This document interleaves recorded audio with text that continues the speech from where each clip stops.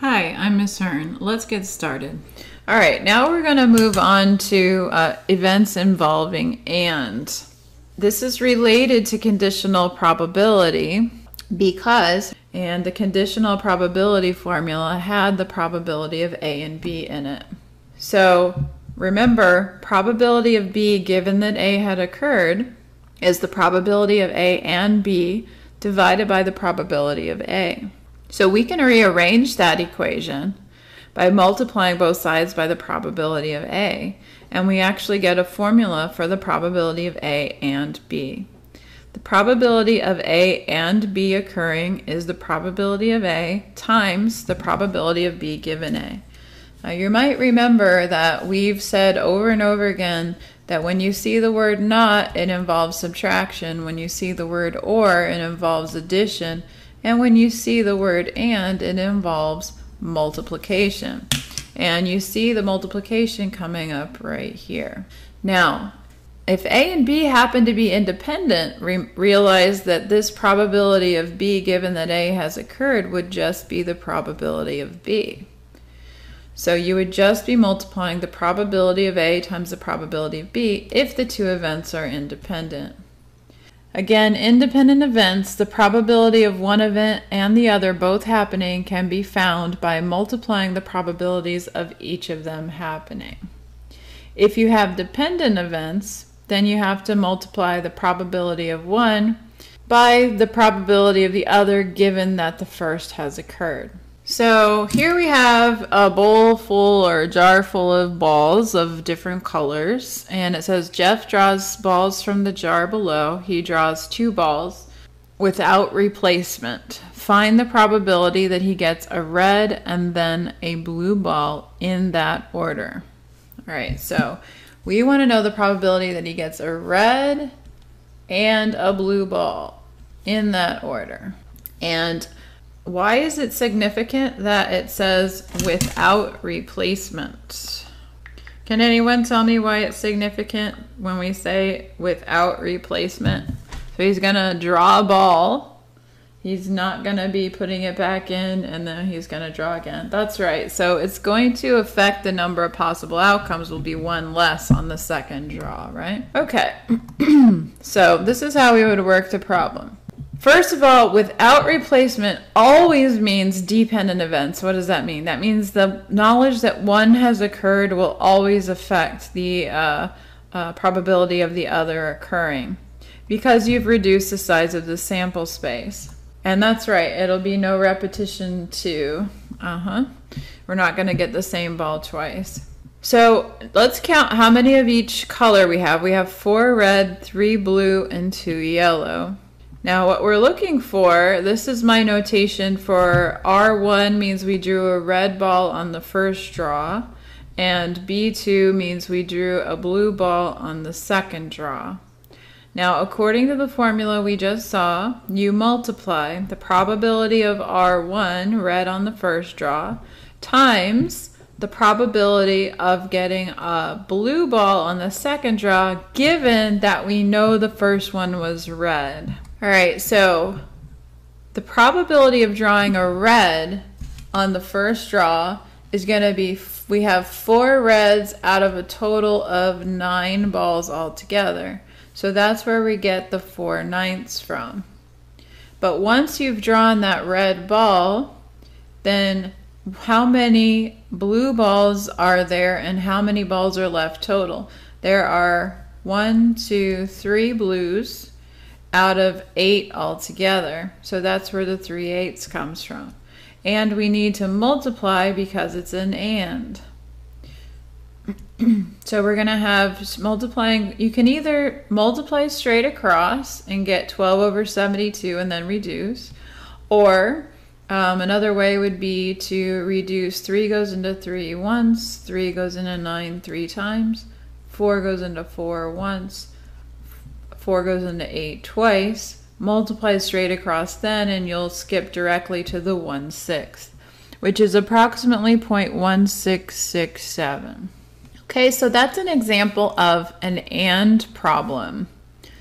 So whenever you're doing an AND problem, you multiply, but you have to take into consideration that the first uh, thing has already occurred. All right, let's consider if we change this to with replacement. Okay, so it says Jeff draws balls from the jar below. He draws two balls, this time with replacement. So he's going to take one out and he's going to put it back. Find the probability that he gets a red and then a blue ball in that order.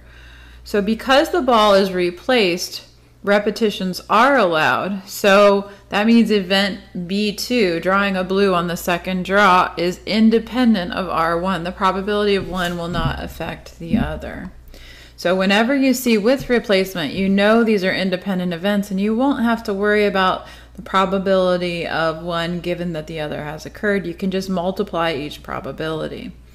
So again, we have four red, three blue, two yellow.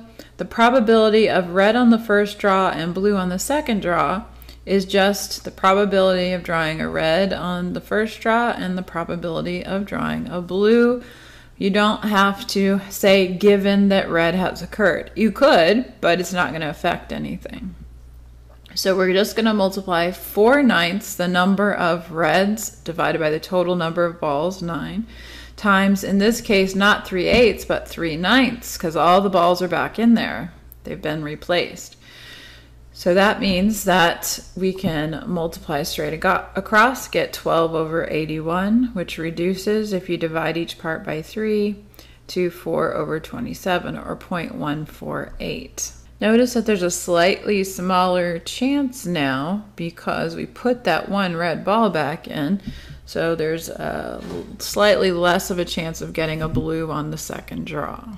The next uh, item I want to look at says a pet store has 14 puppies, including five poodles, five terriers, and four retrievers. If Rebecca and Aaron, in that order, each select one puppy at random with replacement, that means they may both select the same one. Find the probability that Rebecca selects a terrier and Aaron selects a retriever. So in this case, with replacement means these are independent events. So you can just find the probabilities of each and multiply them together. And still means multiply. Okay, because there is a replacement, the events are independent. So we're going to find the probability that Rebecca selects a terrier. Well, there are five terriers out of the 14 puppies. So 5 fourteenths is that probability. Then we're going to find the probability that Aaron selects a retriever. Well, that's going to be 4 out of 14, which reduces to 2 sevenths. And then we're going to multiply 5 fourteenths times 2 sevenths. The order doesn't matter. And you're going to get 10 over 98, which if you divide both those by 2, you get 5 49ths. So the probability that Rebecca selects a terrier and Aaron selects a retriever is 5 49ths. Okay, the most important concepts here are number one, and means multiply, and number two, with replacement means independent events. Okay, this example I, I really like uh, because it combines some concepts that we've learned. So it makes it a little bit tricky, but I think once you see it, you'll understand. It says if it snows tomorrow, the probability is 0.5 that John will practice his trumpet. If it does not snow tomorrow, there is only a 0.4 chance that John will practice. Suppose that the chance of snow tomorrow is 60%. What's the probability that John will practice his trumpet? So, what's interesting about this problem is we have to consider different cases because we have the extra variable of snow or not snow. So, the probability will depend on whether there's snow or not. But we know the probability of snow as well. So when you see the word or there, remember or means add, probability of this or that. Another way of saying that is we have two cases and we have to add the probabilities of the two cases. Okay, so what we want, you always need to, when you're working a word problem like this, we need to organize our thoughts, right? So what we want is we want to know the probability that either it snows and John practices or there's no snow and John practices because either of those cases results the result is that John practices and that's what we want to figure out the probability of.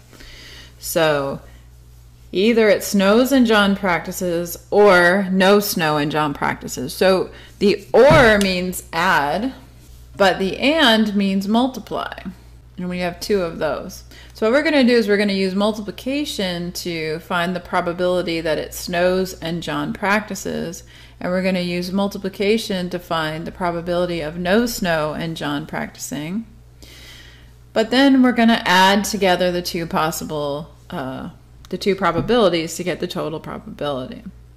Now, in order to find the probability that it snows and John practices, we're going to have to multiply the probability of snow times the probability that John practices given that snow has happened. So we're going to need the probability of snow and the probability of practicing given snow. And in order to find the probability of no snow and John practicing, again, we're going to need the probability of no snow multiplied by the probability that he practices given that no snow has occurred. Okay, so what's the probability that he will practice given no snow? Or given snow has occurred, rather. So let's go back to our um, going back to the description of the problem, it tells us flat out that the probability is 0.5 that John will practice his trumpet if it snows, and it's only 0.4 if it if it doesn't snow.